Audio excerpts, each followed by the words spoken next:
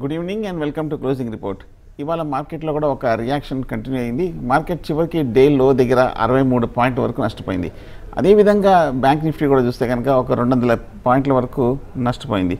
So Nifty ఫైనల్గా చూస్తే కనుక పన్నెండు వేల వంద నెక్స్ట్ లెవెల్స్ దగ్గర క్లోజ్ అయింది. బట్ ఓవరాల్గా చూస్తే కనుక మార్కెట్ లాస్ట్ ఒక మూడు రోజులుగా ఇంచుమించు మూడు వందల పాయింట్ల వరకు రియాక్షన్ వచ్చింది. పన్నెండు వేల నాలుగు వందల నుంచి మార్కెట్ రియాక్షన్ అవుతూ ట్రెండ్ ఇంకా బలహీనంగానే కనిపిస్తోంది.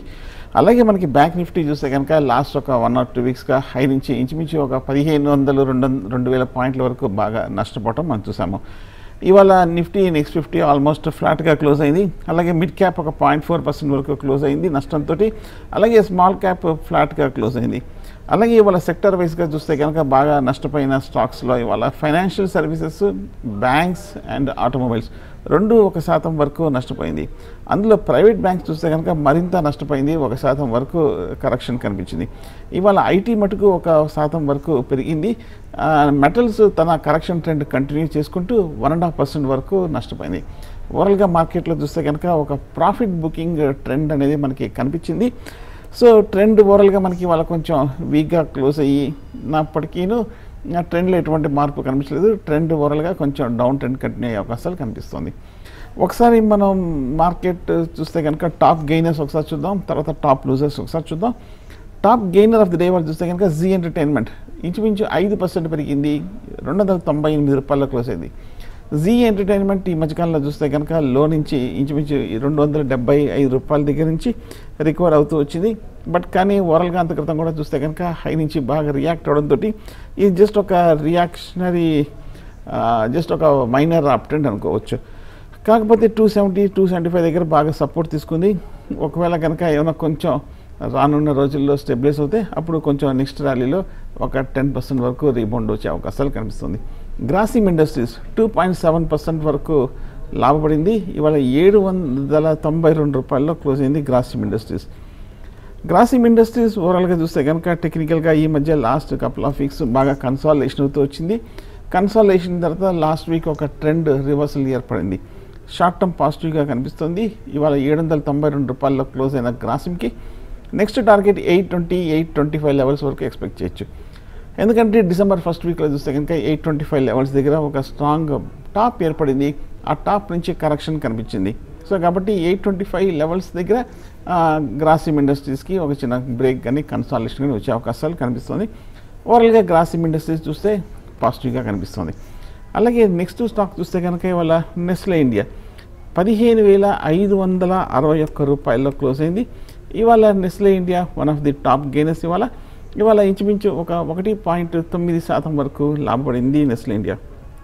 Last couple of వీక్స్గా చూస్తే కనుక పద్నాలుగు వేలు పద్నాలుగు వేల ఐదు వందల స్థాయి దగ్గర ఇంచుమించు ఒక రెండు నెలల పాటు కన్సాలేషన్ అయింది.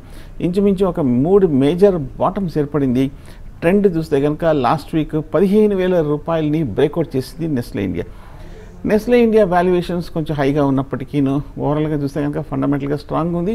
ఎఫ్ఎంసీజీ స్టాక్స్ అన్ని కూడా బాగా రికవర్ అవుతున్నాయి. అందులో నెస్లే ఇండియా చూస్తే కనుక one of the top performing stock అనుకోవచ్చు. టెక్నికల్గా కూడా చూస్తే కనుక మూడు మేజర్ బాటమ్స్ నుంచి రికవరీ అయింది కాబట్టి ఇక్కడ నుంచి షార్ట్ టర్మ్ ర్యాలీ కంటిన్యూ అయ్యే అవకాశాలు ఎక్కువ కనిపిస్తుంది నెస్లే ఇండియాకి సో లాంగ్ పొజిషన్స్ని కన్సిడర్ చేయొచ్చు నెస్లే ఇండియా నెక్స్ట్ స్టాక్ చూస్తే కనుక ఇవాళ రెండు వేల రెండు వందల పది రూపాయలతో క్లోజ్ అయింది. టీసీఎస్ టాటా కన్సల్టెన్సీ సర్వీసెస్ చూస్తే కనుక ఈ మధ్య కాలంలో లో నుంచి అంటే రెండు వేలు రెండు వేల యాభై రూపాయల దగ్గర మనం ట్రాక్ చేస్తూ వచ్చాము. అక్కడి నుంచి పెరుగుతూ ఇంచుమించు రెండు వేల రెండు వందల యాభై రూపాయల వరకు వెళ్ళింది టీసీఎస్ ఇప్పుడు ప్రస్తుతానికి గత కొన్ని వారాలుగా కన్సాలేషన్ అవుతూ వస్తుంది. కన్సాలేషన్లో కరెక్షన్లో కొంచెం హై లెవెల్లో స్థిరంగానే నిలబడుతోంది కాబట్టి టీసీఎస్ టెక్నికల్గా పాజిటివ్గా ఉందనుకోవచ్చు. అఫ్కోర్స్ ఫండమెంటల్గా ఈ ఏ గ్రూప్ స్టాక్స్ గురించి అన్ని మనకి తెలిసినవి. ట్రెండ్ చూస్తే కనుక పాజిటివ్గా ఉంది కాబట్టి బహుశా రెండు వేల మూడు వందల వరకు వెళ్ళే అవకాశాలు కనిపిస్తుంది. అంటే వంద పాయింట్లు ఇంకా అప్సైడ్ పొటెన్షియల్ ఉంది. కానీ రెండు వేల మూడు వందల రెసిస్టెన్స్ని కనుక బ్రేక్అవుట్ చేసిందంటే టీసీఎస్ న్యూ హైలోకి వెళ్ళే అవకాశాలు కనిపిస్తుంది. టీసీఎస్ లాస్ట్ ఒక సిక్స్ మంత్స్గా కన్సాలిడేషన్ అవుతూ వస్తుంది కాబట్టి ఒకసారి కనుక బ్రేక్అవుట్ వస్తే ఆ రెండు వేల మూడు వందల రూపాయలని కనుక అధిగమించగలిగి నిలబడితే కనుక ఒక ఇంచుమించు మూడు వేల వరకు కూడా వెళ్ళినా కూడా ఆశ్చర్యపోకర్లేదు మీడియం టర్మ్ పాయింట్ ఆఫ్ వ్యూలో. సో టీసీఎస్ అంత స్ట్రాంగ్గా కనిపిస్తుంది. Next top gain of the day చూస్తే కనుక ఇవాళ అదానీ పోర్ట్స్ మూడు వందల ఎనభై నాలుగు రూపాయల్లో క్లోజ్ అయింది అదానీ పోర్ట్స్. అదానీ గ్రూప్ అన్నీ కూడా బాగా స్ట్రాంగ్గా నిలకడగా ఉన్న విషయం మనకు తెలిసింది. ఈ మధ్య చూస్తే కనుక అదానీ పోర్ట్స్ ఒక లాస్ట్ కపుల్ ఆఫ్ మంత్స్గా నాలుగు వందల ముప్పై మూడు వందల యాభై రూపాయల మధ్యన సైడ్ వేస్ ట్రెండ్లో ఉంది. ఓవరాల్గా మనకి పోర్ట్స్ ఇన్ఫ్రాస్ట్రక్చర్లో ఉన్న స్టాక్ చూస్తే ఇన్ సైడ్ వేస్లో ఒక కన్సాలిడేషన్ మోడ్లో ఉందనుకోవచ్చు. ఇవి ఇప్పటివరకు టాప్ ఫైవ్ గెయినర్స్ ఇందులో చూస్తే కనుక మనకి గ్రాసిమ్ నెస్లే ఇండియా టీసీఎస్ ఈ మూడు కొంచెం టెక్నికల్గా పాజిటివ్గా కనిపిస్తుంది short term to medium term point of view point of investment పర్పస్లో అలాగే నెక్స్ట్ టాప్ లూజర్స్ చూద్దాం. ఓఎన్జీసీ ఐదున్నర శాతం పడింది. బట్ ఓవరాల్గా వీక్గా ఉన్న స్టాక్ ఇది. కోల్ ఇండియా నూట తొంభై ఒక్క రూపాయల్లో క్లోజ్ అయింది. ఐదు పాయింట్ రెండు శాతం పడింది. ఇది కూడా ఓవరాల్గా వీక్గా ఉన్న స్టాక్. ఎన్టీపీసీ ఇంచుమించు నాలుగు పర్సెంట్ పడింది. నూట పన్నెండు రూపాయల యాభై పైసలు క్లోజ్ అయింది. ఓవరాల్గా ఇది కూడా వీక్గా ఉన్న స్టాక్. టాటా మోటార్స్ హై నుంచి రియాక్షన్ మొదలైంది.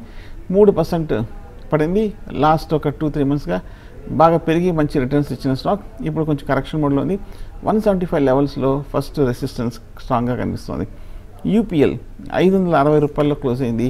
ఒక మూడు శాతం వరకు నష్టపోయింది యూపీఎల్ యూపీఎల్ ఓవరాల్గా one of the strong performing కౌంటర్సే కాకపోతే మొన్న ఇటీవల కాలంలో మొన్న లాస్ట్ క్వార్టర్ రిజల్ట్స్ వచ్చినప్పటి నుంచి కొంచెం కరెక్షన్ ట్రెండ్లో ఎంటర్ అయినట్టు కనిపిస్తుంది. షార్ట్ టర్మ్లో చూస్తే కనుక ఈ వారంలో ఒక స్ట్రాంగ్ డౌన్ సైడ్ బ్రేక్అవుట్ కనిపించింది కాబట్టి five twenty five ten next major support levels. Last three four మంత్స్గా ఒక మల్టిపుల్ బాటమ్స్ ఉన్నాయి కాబట్టి ఫైవ్ ట్వంటీ లెవెల్స్ ఒక ఫస్ట్ బయింగ్ పాయింట్ కనుకోవచ్చు అక్కడి నుంచి రికవరీ వచ్చే అవకాశాలు కనిపిస్తుంది సో ఇవి ఇప్పుడు మనం చూసింది టాప్ ఫైవ్ లూజర్స్ కూడా. అండ్ ఒకసారి మనం ఇవాళ టాప్ ఫైవ్ ఇన్వెస్ట్మెంట్ స్టాక్స్ కూడా చూద్దాం ఏ విధంగా పెర్ఫామ్ చేసేది.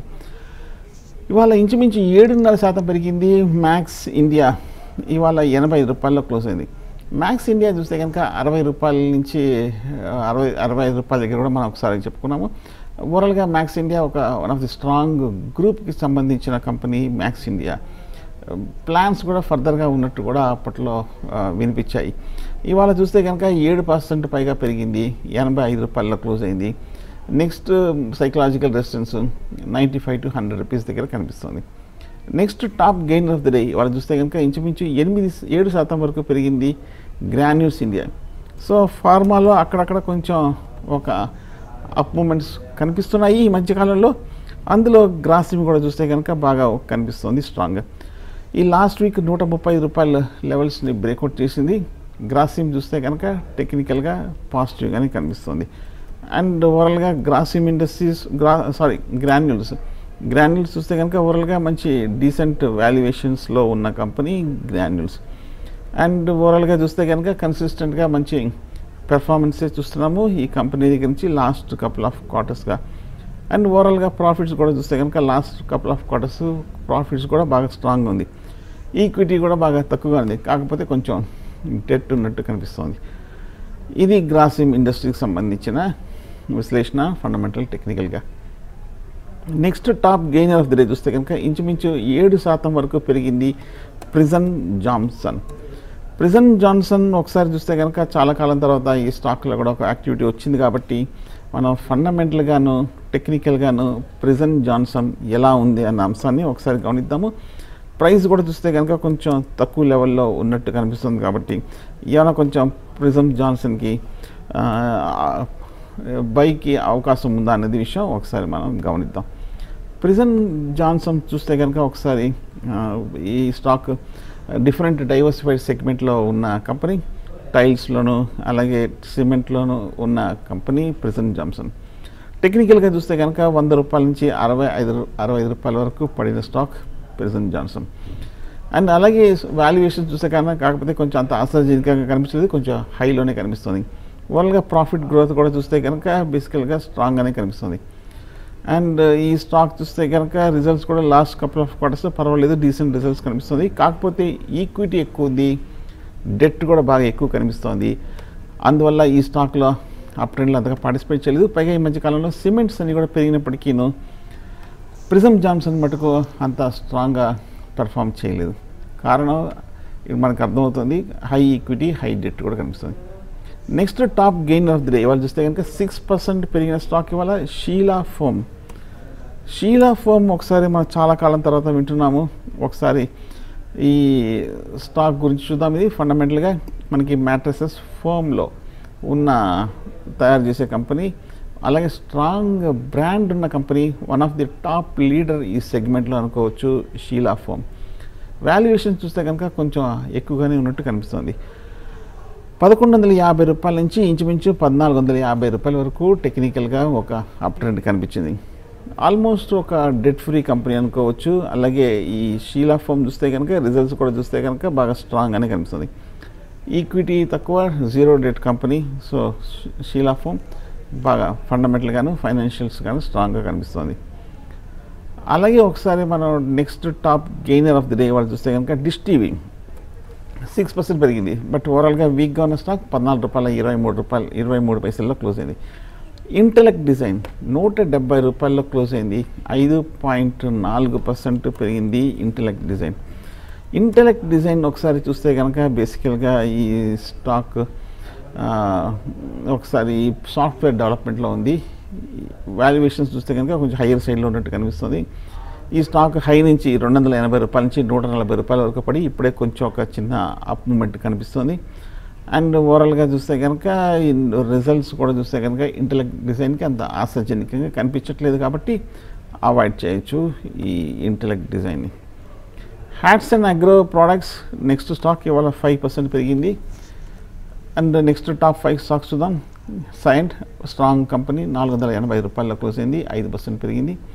డిష్మెంట్ కార్బో వీక్గా ఉన్న స్టాక్ ఇవాళ ఎనభై రూపాయల్లో క్లోజ్ అయింది. Reliance Capital another weak stock five percent పెరిగింది.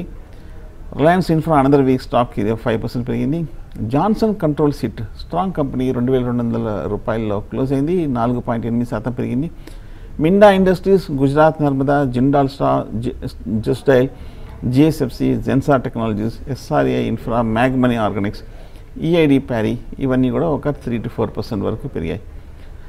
ఇండ్ బ్యాంక్ హౌసింగ్ ఇవాళ చూస్తే కనుక ముప్పై మూడు రూపాయల్లో క్లోజ్ అయింది. పంతొమ్మిది రూపాయ సారీ పంతొమ్మిది పాయింట్ ఏడు శాతం వరకు పెరిగింది. సో ఈ మధ్యకాలంలో హౌసింగ్ కంపెనీస్ అన్నీ కూడా బాగా పెరిగాయి. ఇవాళ ఇండ్ బ్యాంక్ హౌసింగ్ ఒక అనూహ్యమైన అప్ ట్రెండ్లోకి కనిపించింది. సో ఓవరాల్గా మార్కెట్లో ఇవాళ చూస్తే కనుక కరెక్షన్ ట్రెండ్కి గురైంది. ఇవాళ మూమెంట్ తోటి కంటిన్యూషన్ ఆఫ్ డౌన్ ట్రెండ్ కనిపిస్తుంది కానీ ఇంకా సపోర్ట్ తీసుకున్నట్టు కనిపించలేదు. చాలామంది ఇన్వెస్టర్లు ట్రేడర్లు ఈ లెవెల్లో లాంగ్ పొజిషన్స్ తీసుకోవాలా అని అడుగుతుంటారు. ఎందుకంటే ఈ మూడు రోజులు బట్టి బాగా పడింది కాబట్టి బాటమ్ అవుట్ అయిపోయిందేమో. ఇక్కడ ఒక లెవెల్ ఫస్ట్ లెవెల్ అను అని అనుకు అడుగుతుంటారు కాబట్టి. సో ఫస్ట్ జనరల్గా పొజిషన్ లాంగ్ పొజిషన్ తీసుకోవాలంటే ఒక కరెక్షన్ తర్వాత ఫస్ట్ సపోర్ట్ తీసుకుందా లేదా అని చూడాలి. ఇంకా సపోర్ట్ తీసుకుంటే వాళ్ళ కన్ఫర్మేషన్ రాలేదు. సపోర్ట్ తీసుకున్నాక కపుల్ ఆఫ్ డేస్ అయినా కొంచెం కన్సాలేషన్ రావాలి. ఆ తర్వాత కనీసం కన్సాలిడేషన్ రాకపోయినా ఒక స్ట్రాంగ్ రివర్సల్ అప్సైడ్ రివర్సల్ వచ్చి బ్రేక్అవుట్ వస్తే అప్పుడు లాంగ్ పొజిషన్ని కన్సిడర్ చేయొచ్చు. సో ఇంకా ఈ ప్రక్రియ రెండు మూడు ప్యాటర్న్గా ఇంకా ఫామ్ కాలేదు కాబట్టి కొంచెం వెయిట్ చేయటం బెటర్ మార్కెట్ ఎక్కడ సపోర్ట్ తీసుకుంటో చూడాలి. బహుశా పన్నెండు వేలు పదకొండు వేల ఎనిమిది వందలు ఈ రెండు లెవెల్స్ దగ్గర ఒక మేజర్ సపోర్ట్ ఉంది కాబట్టి బహుశా అక్కడేమైనా కొంచెం రికవర్ అవుతుందేమో చూడాలి. సో మార్కెట్ అలాగే short term moving averages twenty and fifty కిందే క్లోజ్ అయింది. సో ట్రెండ్ కొంచెం ప్రస్తుతానికి వీక్గా కనిపిస్తుంది ఈ రెండు యావరేజెస్ పైన నిలబడితేనే మళ్ళీ లాంగ్ పొజిషన్ అటెంప్ట్ చేయొచ్చు. అప్పటి వరకు కొంచెం న్యూట్రల్గా ఉంటే మంచిది. So thank you very much ఇది ఈ రోజు క్లోజింగ్ రిపోర్ట్